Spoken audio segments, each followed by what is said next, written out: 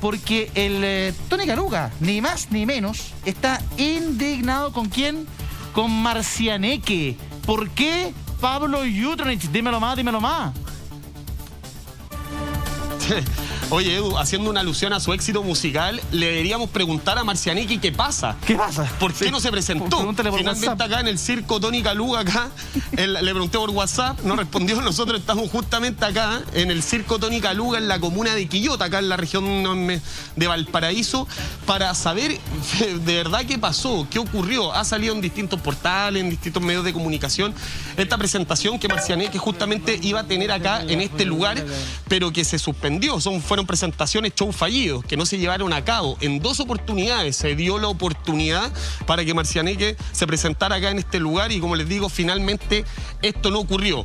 Hubo un despliegue y más que despliegue, hubo una organización, una preparación por parte del circo Tony Caluga, por parte del dueño, etcétera, muy importante. Eh, se promocionó, se publicitó en, los medios locales, habían palomas por cada rincón de Quillota, habían publicidad, había afiche de la presentación de Marcianeque y que finalmente no se llevó a cabo. Tengo entendido que, bueno, ahí estamos viendo un flyer eh, de promoción, lo que iba a ser este show. Les cuento, mira, vamos a estar hablando ahora en los próximos minutos con el dueño del circo del Tony Caluga para que nos pueda explicar los detalles, porque yo estaba hablando con él antes de salir al aire y la verdad que los detalles son bastante llamativos, un poco todo lo que sucedió.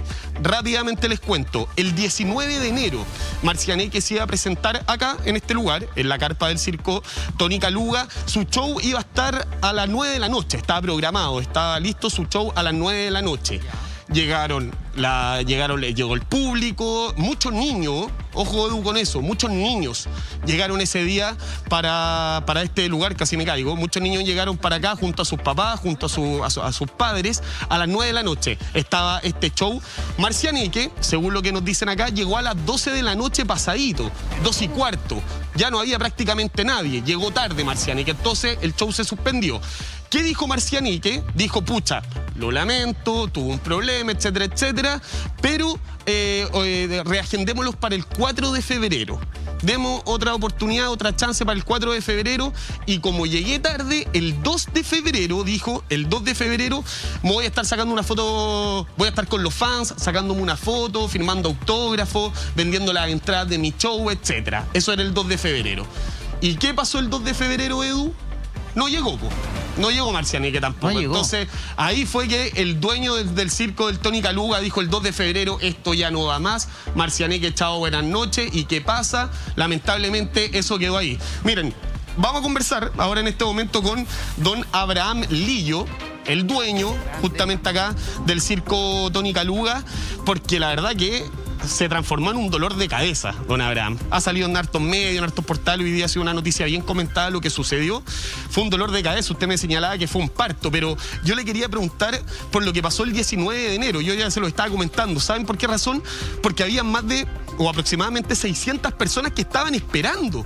O sea, el show de Marcianeque se venía y tuvieron que rellenar ustedes, llamaron hasta amigos de Limache, vengan para acá porque Marcianeque no llega.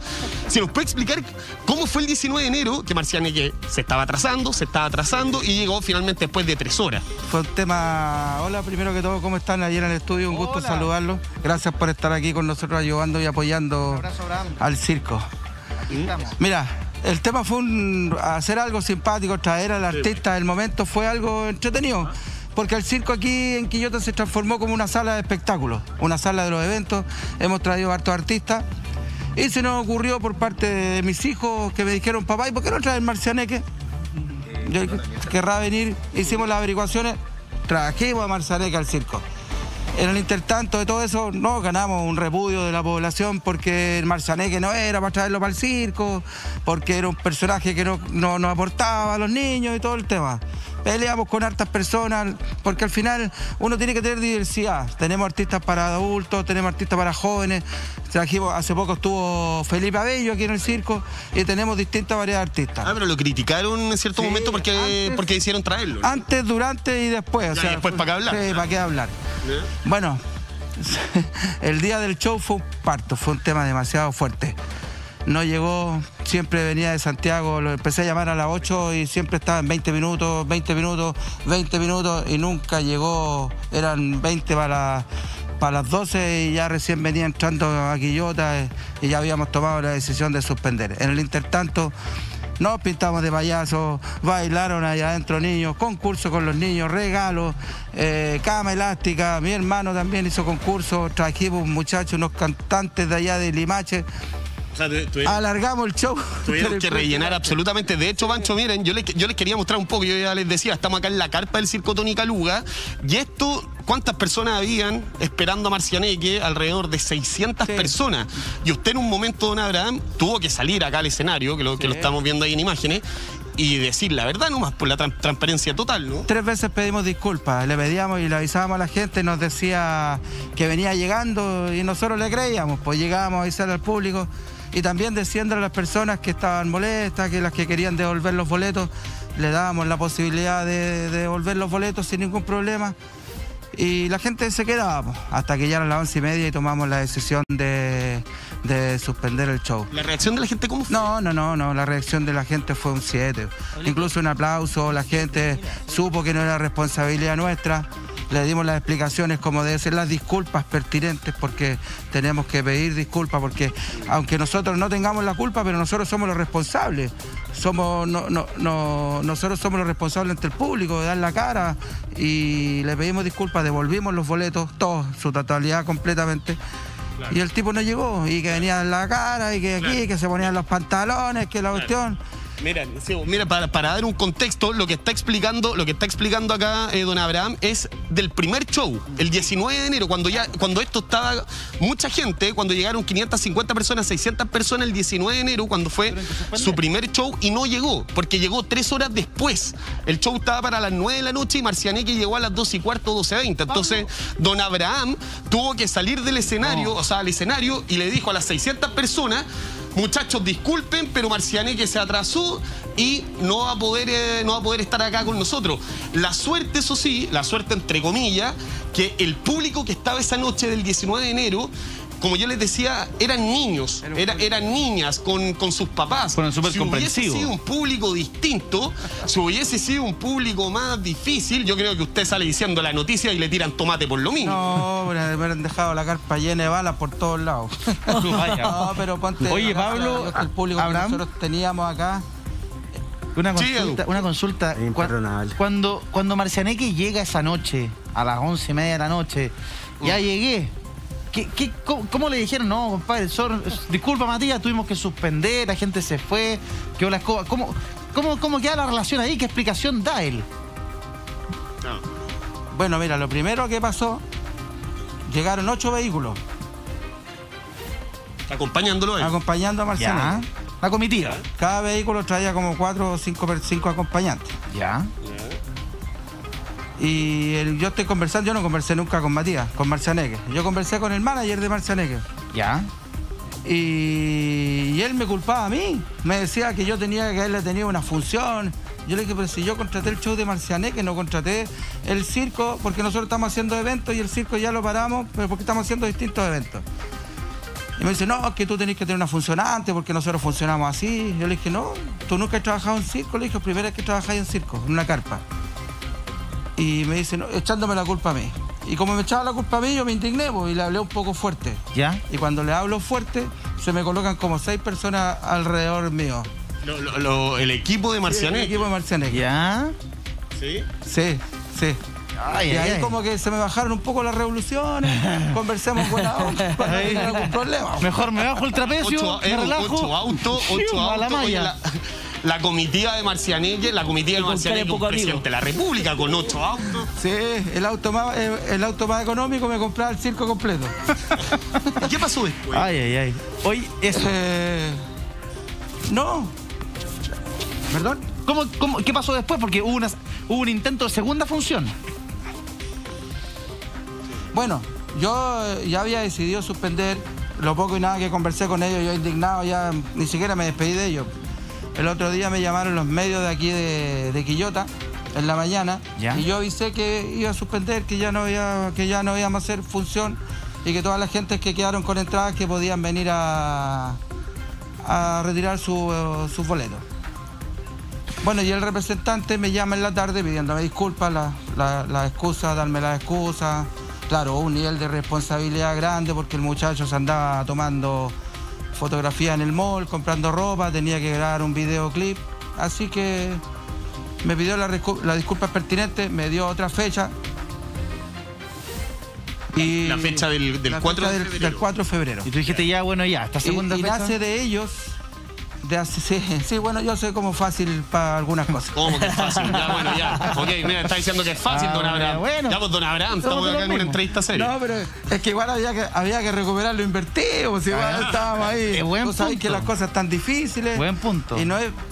No, pero aceptó, pues. Sí, pues aceptamos. Ahora, aparte que las disculpas fueron... Sinceras. ¿Tú las sentiste sinceras? ¿Tú las sentiste sinceras las disculpas?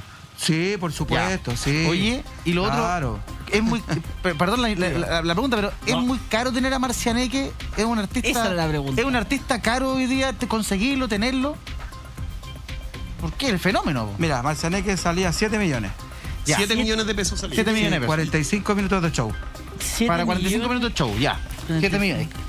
Eh, elevado, eh, bueno, es caro, pero, pero claro, es lo que cobran los artistas en, momento, en, momento, en un buen momento. Y hay artistas más caros. O sea, el, el valor salía Sí, pues. Sí, sí, ¿Cuánto salía la entrada más o menos?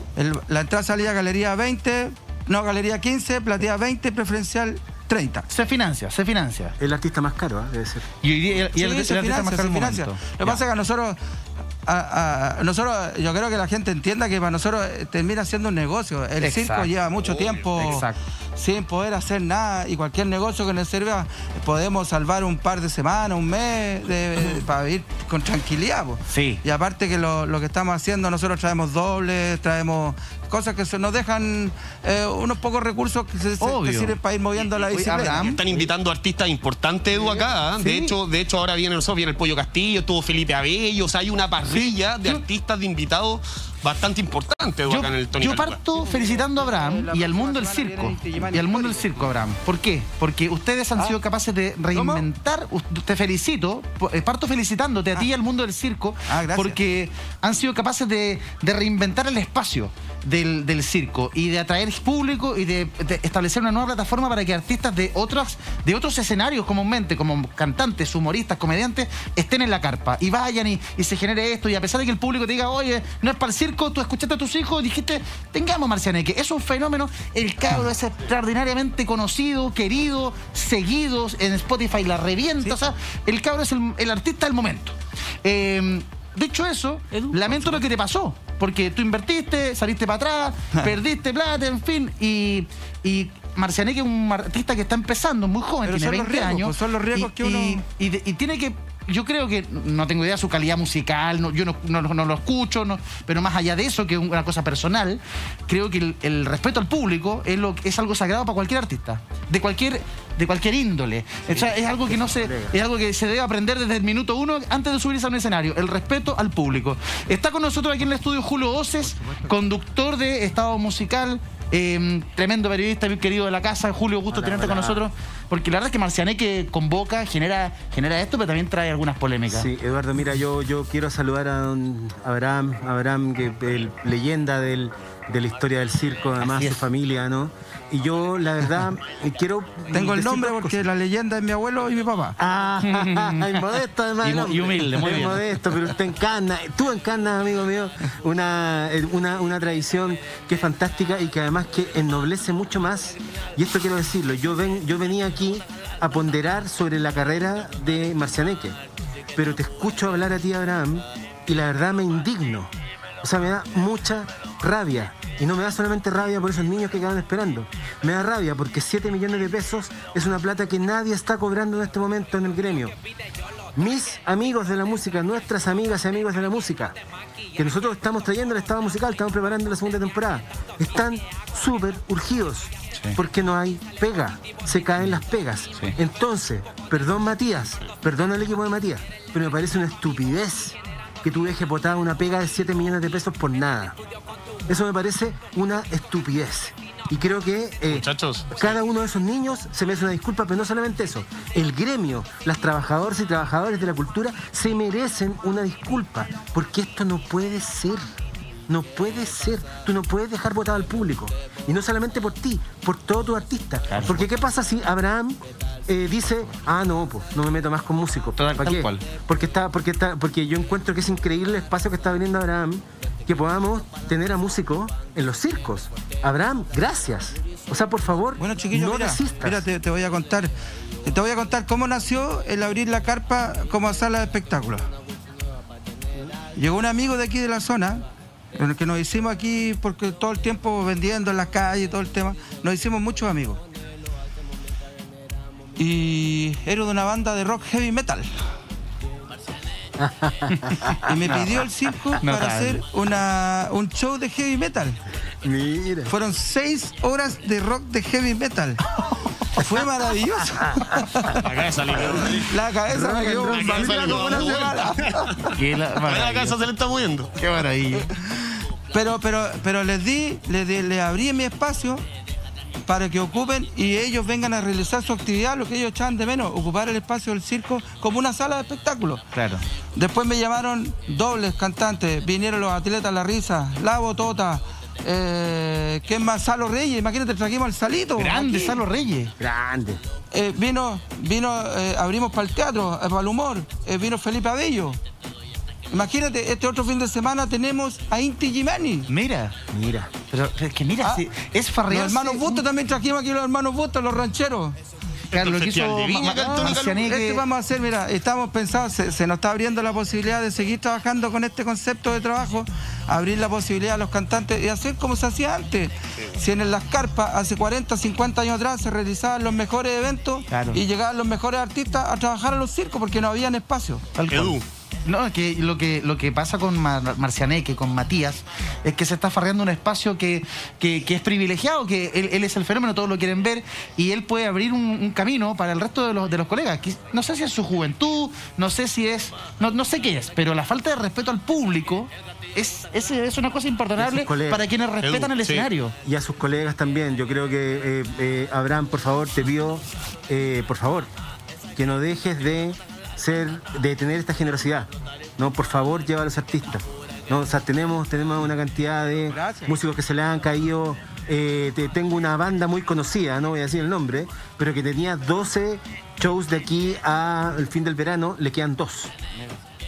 Esa es la realidad que están viviendo los artistas, entonces. O sea, mira, y de aquí a aquí, mira, aquí, amigo, dejo extendida la invitación a todas las bandas que quieran venir a tocar que quieran venir a hacer Yo te hago el contacto, Abraham. O sea, aquí mira, aquí tenemos que arriesgarnos todos. Si queremos, aquí vivimos todos del boleto. Toda la gente tiene su público y todas las bandas tienen su público. Vendemos los boletos, aquí partimos la naranja, yo me preocupo de hacer la publicidad y chao, y todos quedamos felices y contentos, pero todos tenemos que arriesgarnos y vivir lo que estamos viviendo ahora, si es algo difícil. Eh, lo que estamos, eh, los, espacios no están, los teatros tienen aforos demasiado pequeños. Sí. ¿Y qué mejor que hacer que, hacer, que venir a hacer lo que más les gusta a ellos? sí, Edu, mira lo que nos estaba lo que nos estaba contando Don Abraham, que claro, y lo estamos diciendo al principio del despacho para seguir un poco con la cronología de lo que pasó, porque esto no termina acá. Les decíamos, el 19 de enero se canceló porque Marcianique llegó tarde, tres horas después, el manager después lo llamó a Abraham y dijeron ya para el 4 de febrero.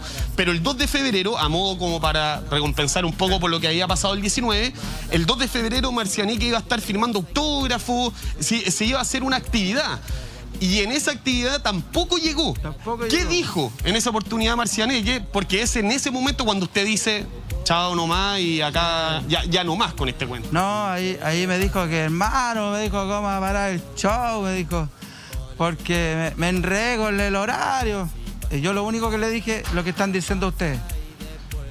Hermano, le dije yo, ¿sabes lo que pasa? Que aquí hay que tener un respeto porque tienes un público que te está esperando. Y si tú no respetas a ese público, ya no respetas a nadie. Yo no puedo confiar de que tú vengas al show del 4 porque yo podía haberme hecho el tonto y haber esperado que igual trabajara el día viernes. Y me quedo con las lucas que se hacen el día viernes, que la que yo estaba que yo estaba mm. eh, pretendía ganar. Sí. Pero preferí suspender el evento porque no me daba ninguna seguridad de que él viniera a Ahí cortó todo. Sí, ahí corté todo. ahí no hay ninguna conversación con más. Oye, estoy esperando que me devuelva el, el, anticipo y, lo que gastamos de, de, lo, de lo que se gastó aquí. Exactamente. El tema, el tema, de las lucas. Oye, aquí en el estudio tengo a un fanático. Me han llamado mucha gente, me han llamado mucha gente para hacer demanda y todo el tema, pero no, no querido. Oye, Abraham, aquí en el estudio tengo un fanático. Edu. La verdad, pues es súper fanático, le gusta mucho, y lo digo en serio, y, pero además es abogado. yo te pregunto, más que como fanático de Marcianeque. Hay una relación ahí, ¿eh? hay una... Sí, hay una dualidad, hay un conflicto de interés. Yo creo. yo, creo, yo creo que hay un interés pecuniario, me parece. no, de hecho. Claudeque. De Claudeque. No, no, de hecho. ¿Qué puede hacer Abraham? ¿Cómo se hace para recuperar eso? esas son las preguntas que le tenía Abraham. Consulta práctica. Cuando acuerdas con el, con el ¿cómo se llama? Manager de, de Matías, el, el, show y las condiciones del show, duración y todo, precio, me imagino que lo hicieron por escrito. ¿Hay algún respaldo de todo esto? Solo WhatsApp. O sea, nada más que eso. Solo le pregunté por WhatsApp. Es por WhatsApp. ¿Qué te dijo que pasa? Oye, y, después de eso. ¿Qué eh, pasa? Me dijo. Oye, eh, Abraham, y después de eso, eh, me imagino que acordaron un precio como un anticipo, que es lo que tú estabas señalando. ¿De cuánto era ese dinero? El anticipo de dos millones. O que sea, se lo fui a dejar yo a su casa. ¿En dinero efectivo? Efectivo. Y, no, no hay ni un documento que te pues. cuenta la transferencia, un cheque para dejar algún respaldo. Nada. nada de eso, nada. Ya. Y por lo tanto, entonces esto solamente es palabra a palabra. Y la pregunta el mío, Abraham, ¿tú no has visto en los redes? Estamos trabajando con caballeros, supuestamente. Pero ahí está la pregunta, pobre Abraham. ¿Has visto los videos de Matías cuando apenas se puede subir al, escenario, que se está cayendo, apenas puede cantar? Eh, de hecho, muchos conciertos no ha llegado o no llega a la hora. Eh, o sea, era muy probable que te pasara esto. Esa es la duda que yo tenía. Pero si por eso te digo, era muy probable que te pasara bueno, esto. Bueno, no me imaginaba que podía pasar eso, porque yo me imaginaba, yo me, yo me imaginaba que él iba a trabajar en el escenario, las condiciones que trabajaba, pero no me imaginé nunca que iba a pasar lo que pasó, que, no, no, llegaban a trabajar y todo el tema. Pero que Porque uno todavía confía, pues si cuando ya no hay confianza ya se pierde todo. Abraham, ahí tenía un gran problema. Primero porque no hay ningún documento que cuenta el acuerdo. Segundo, los dineros los pagas en efectivo, no tenemos ningún tipo de respaldo. Tercero, confías en una persona que eventualmente, mm. si tú ves su historial, tiene un historial larguísimo de incumplimientos contractuales. Entonces, yo sé que tenéis la mejor de la fe, tenéis la mejor de las voluntades, pero era lo más probable era que te pasara esto, po. Sí. Ay, Hay que ponerle nomás. No, pero, pero le echamos la culpa a Abraham también. o sea, claro, la culpa no es del que confía. No, ahora, lo que pasa es que estaba pensando la posibilidad de que Abraham... lucha, No, lo que pasa es que yo pensaba que demandáramos a Matías pues, por el incumplimiento contractual, pues Abraham. Entonces por eso te iba a decir, préstame el contrato, pásame todo y yo lo demando. ¿Cachai? Pero no hay contrato. Bueno. Mira, ¿sabéis qué? Que si ah. hubiese podido demandarlo no lo hubiese demandado. Yo lo único que quiero es que el manager me devuelva su plata, nada más. Claro. Eh, Pablo, Pablo, tú has estado reporteando el tema. Eh, ¿Has podido establecer comunicación con o con su equipo? ¿Qué, plantean ellos? Eh, ¿Van a responder por ese adelanto? ¿Qué, qué ha pasado ahí? Sí, Edu, por supuesto, hemos, le hemos escrito, pero la verdad que no hemos obtenido ningún tipo de respuesta hasta el momento.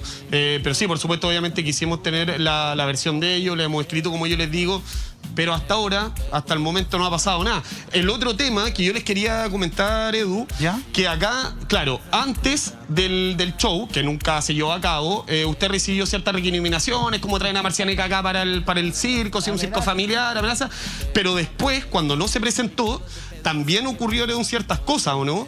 Lo amenazaron también de quemar la carpa, de quemar, de que le iban a quemar el circo. ¿Cómo fue eso? Porque también eso es súper, eso es súper importante que le iban a quemar el circo. Pero eso no fue la gente de que eso fue el público, algunos, algunos, el que no le gusta, pues si le pasa que hay mucha gente que no le gusta algunas cosas y lo demuestra de mala manera. Claro.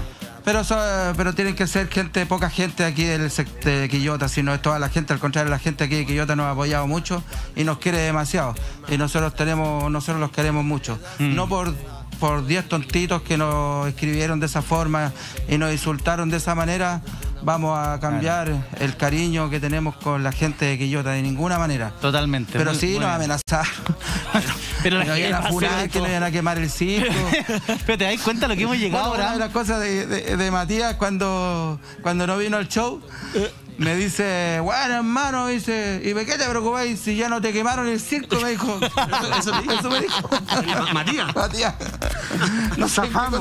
Zafamos, estamos dados. Zafamos, Zafamos, no le llamaron el circo, estamos listos. Menos Oye, mal. Menos mal. se- increíble. eh, eh, lo que pasa es que, claro, mucha, mucha gente que, no sé, pues más, más adulta puede decir, ¿quién, quién es Marcianeque? Marcianeque es, es un fenómeno musical, probablemente el último gran fenómeno musical chileno, eh, Julio. Sí, nosotros, eh, la verdad, bueno, y, y- y esa era también mi intención viniendo, viniendo eh, para acá. A mí me, me interesaba ponderar el fenómeno Marcianeque porque no es menor, no es menor. Nosotros eh, eh, este, estamos acostumbrados a que hay ciertos personajes de culto que vienen de la marginalidad y al llegar al centro de la atención explotan y nos muestran la realidad de la que venían. El caso de Marcianeque es bastante parecido al de Tere Marinovich, en, en el sentido, ¿no? Porque vienen de una, de una eh, marginalidad que no es tal finalmente, ¿no? O sea, Marcianeque viene de un hogar de clase media de Talca, de provincia, por eso me duele tanto, Matías, si me estás escuchando, me duele mucho. Porque tú eres de provincia y le hiciste esto, lo hiciste en provincia. Entonces, mira, si ojalá que la familia de Matías me esté escuchando. Porque lo que yo te digo, Matías, tú crees que estás en el centro del placer, que estás haciendo lo que quieres. No estás haciendo lo que quieres. Estás siendo explotado. En tus drogas hablas de ketamina, o sea, en tus canciones hablan de que hablas de ketamina. La ketamina es un anestésico para caballos, Eduardo. Hablas de Tusi, la coca rosa, Sí. ¿no? Que te produce un efecto y todo eso. Ok, es parte de la cultura. El reggaetón tiene una cultura asociada que nos cuesta mucho a veces, que es una cultura machista, que es una cultura que exalta el consumo de drogas, que es una, consuma que, eh, es una cultura que eh, exalta el- un estilo de vida superficial, basada en el hedonismo, eh, y todo esto. Sin embargo, detrás de- del, del reggaetón hay algo interesante, ¿no? O sea, estos fenómenos son Es una interesantes. expresión de algo, claro. El mismo Marciané que dice, él no sale, él no empieza a hacer música para salir de la marginalidad, él empieza a hacer música para salir de la depresión. Si Marciané que está con este nivel de destroce, no va a durar mucho Marciané. No vamos a poder verlo madurar, ¿no? O sea, yo decía, intentaba ahora imitar el, el, el, el, Matías, ¿no? Ese es un tono adormilado y adormilado en mala, ¿no? O sea, yo creo que Marcianeque está en problemas. Por eso, a estos artistas hay que cuidarlos.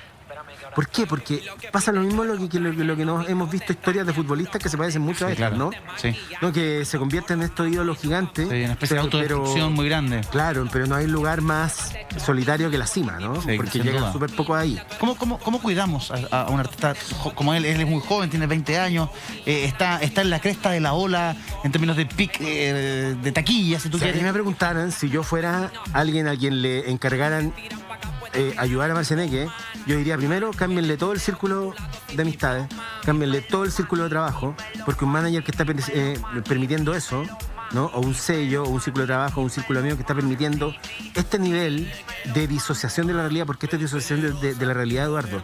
Esto es cuando tú estás en tu pic y no te importa nada. Es decir, si tú estás llegando a ese nivel, es porque no estás bien. Claro, no hay O conciencia sea, de la realidad. entonces no romanticemos tampoco el estar destrozado. no, para nada. No lo romanticemos, porque no está bien. Marcianeque tiene un talento. Este estilo adormilado, drogado de cantar lo que ustedes quieran, es una cosa que tú lo escuchas en el rap de Estados Unidos y hay muchos raperos que cantan de una manera, claro, y está bien. Marcianeque tiene buen flow. Marcianeque escribe muy rápido. Uno ve las entrevistas en YouTube al, al- productor, es capaz de escribir una canción, un hit en dos horas. ¿No? Y tenerlo listo. O sea, el tipo es talentoso.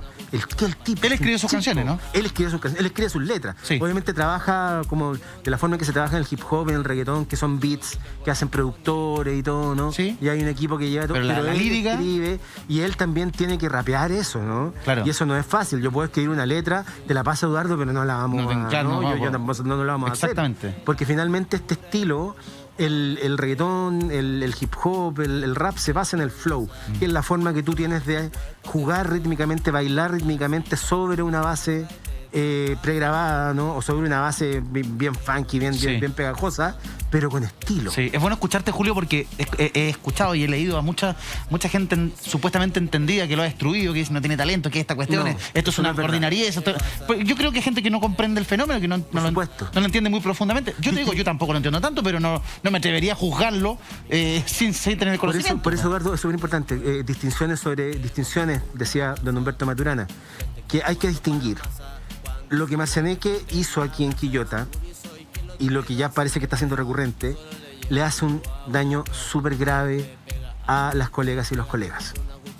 Eh, suyos, mm. suyos. Sí. Eh, a nosotros nos da material para sentarnos aquí a hablar de él.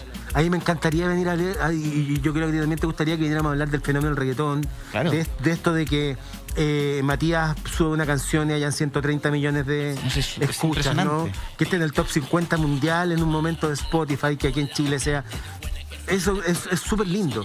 Pero hay otra parte, y que es la con la que tiene que ver y que nosotros en el Estado musical lo hemos tratado de relevar, que es que las músicas y los músicos son trabajadores. Sin duda. Y cuando yo, si yo tengo una, si yo tenía que venir acá y los dejo esperando, entonces empieza a bajar mi estofa y ya no me quieren invitar. ¿No? Entonces yo, yo, yo, creo que hay algo ahí a donde está perdido Matías, ¿no? Y yo sé que probablemente Matías ni siquiera pueda ver este programa. Pero si hay alguien que le pueda hacer llegar un consejo es cambia de círculo de amigos, cambia tu grupo de trabajo porque ese grupo de trabajo no te sirve para proyectarte. O sea, vas a llegar hasta ahí nomás. Porque sí, o sea, una cosa es suspender un show en Quillota, otra cosa es no llegar a una noche de los Grammy. Claro. Y que está súper cerca de eso.